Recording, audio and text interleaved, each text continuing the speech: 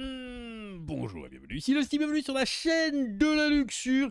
J'adore ce que fait Capcom récemment, ce qu'ils font.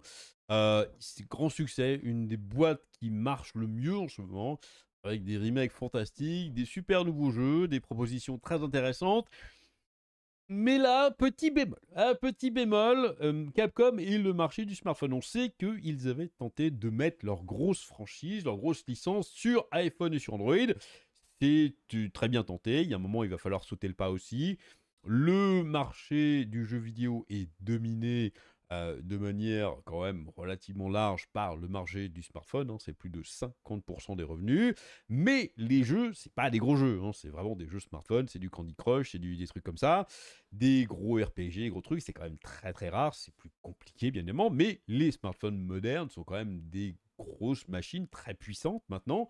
Euh, comparé par exemple à une Switch, euh, mon iPhone est quand même beaucoup plus puissant qu'une Switch par exemple. Donc euh, même si l'écran est plus petit, il y a quand même moyen de faire tourner des trucs dessus. Et donc, certaines entreprises, dont Capcom, avaient pris le pari de porter leur grosse licence dessus. Alors, Capcom avait porté Resident Evil. Ça n'a pas bien marché. C'est vrai que c'est pas tellement le public pour le moment. Ça va progressivement, à mon avis, changer.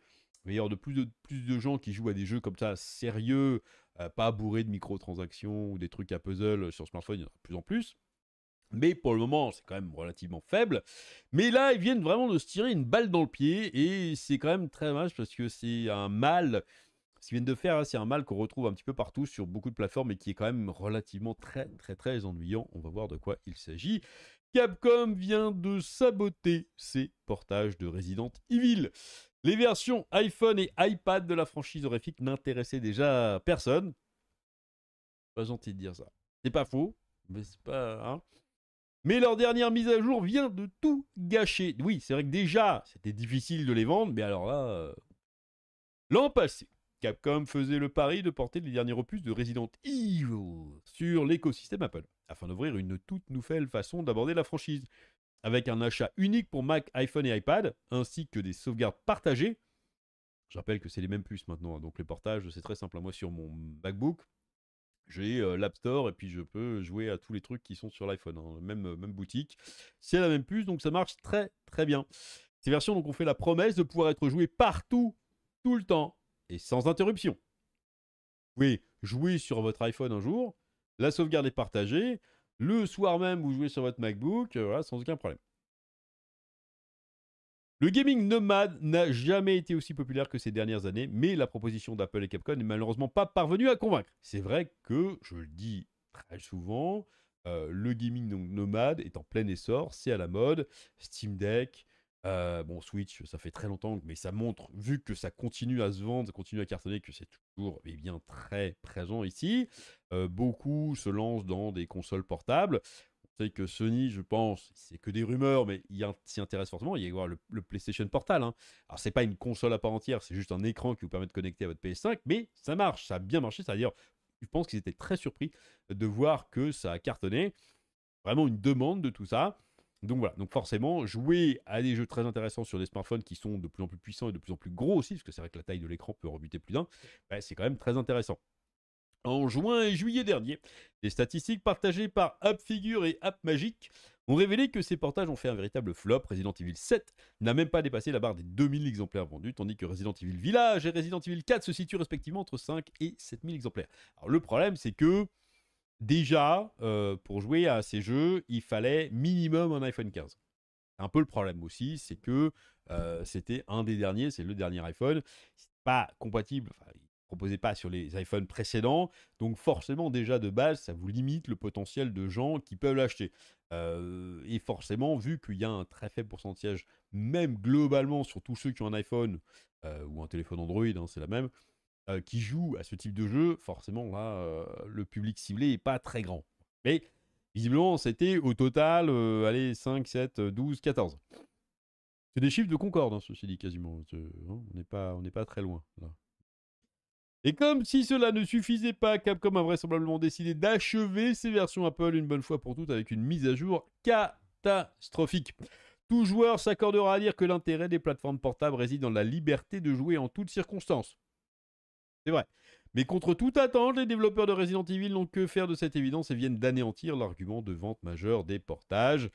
La connexion Internet obligatoire. Ah, on n'en peut plus de ça. Pour des jeux solo, pas un jeu multi, hein, des jeux solo, PG, n'avez pas besoin de connexion. Pourquoi imposer une connexion obligatoire? Ça n'a aucun sens. Surtout sur du gaming nomade. C'est délirant. Depuis fin août, les quelques acheteurs de Resident Evil 4, 7 et Village sur les appareils Apple ne sont plus en mesure de lancer les jeux hors connexion. Comme repéré par nos confrères d'Eurogamer, la mise à jour de titre se contente de préciser en raison de modifications apportées au processus de démarrage, qui veut rien dire, une connexion Internet est désormais nécessaire pour lancer cette application. C'est juste pour la lancer. Ça n'a aucun sens. Ça n'a aucun sens. Malgré le. parce que, en truc, on pourrait dire, ouais, peut-être qu'il vérifie que c'est une version légitime, mais le piratage de jeux sur smartphone, euh, c'est pas hyper répandu. Hein. On est pas, on est très très loin euh, des, euh, des, jeux PC. Hein. Ah. Malgré de nombreuses sollicitations, Capcom n'a pas encore fait de déclaration concernant ce changement. Il est donc impossible de savoir s'il s'agit de DRM, de collecte de données aussi. Mais les collectes de données, en fait, ça peut se faire. Parce qu'il y a un moment, le smartphone, il va être connecté. Hein. Y a un moment où on va jouer, votre smartphone va être connecté parce que vous jouez chez vous, machin, un smartphone, ça a une connexion. Euh, et il y a un moment, il peut du coup récupérer des données. Après, a posteriori, c'est pas grave. Donc, euh, forcer à chaque lancement c'est quand même. Euh, Sans surprise, les joueurs cherchent déjà à obtenir gain de cause auprès d'Apple afin d'obtenir un remboursement. Bah oui. De quoi réduire à néant le nombre d'exemplaires vendus. Si vous avez acheté des titres et que les mises à jour n'ont pas encore été appliquées, il est encore temps de les éviter afin de continuer à jouer hors collection. Oui, mais des fois, ça évite des bugs, ça rajoute des trucs. C'est quand même sympa les mises à jour. Ah, du coup, bah, le peu de joueurs qui jouaient, et ceux qui euh, ont vu ça et qui du coup euh, bah, peuvent peut-être plus profiter de leur jeu euh, à des endroits où jouaient avant, bah, ils, voilà, vont se faire rembourser, tant pis, on va essayer. Hein. Compliqué, Pourquoi faire ça? Ça n'a absolument aucun sens.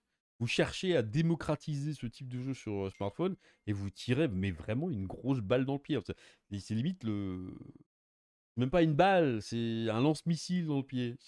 Ça n'a absolument aucun sens. Déjà que sur d'autres plateformes, sur PC et console de salon, c'est gonflant, alors que c'est pas du jeu nomade. Hein. On est chez nous, installé, les connexions obligatoires pour des jeux solo, c'est absolument c'est intolérable possible, c'est chiant. Euh, là, pour un jeu smartphone où vous allez partout, balader partout pour jouer, ça n'a aucun sens. Arrêtez ça tout de suite. Allez, c'est tout ce que j'ai là-dessus pour aujourd'hui. J'espère que ça vous aura plu. Dites-moi ce que vous en pensez dans les commentaires. Amusez-vous bien. Et à très bientôt.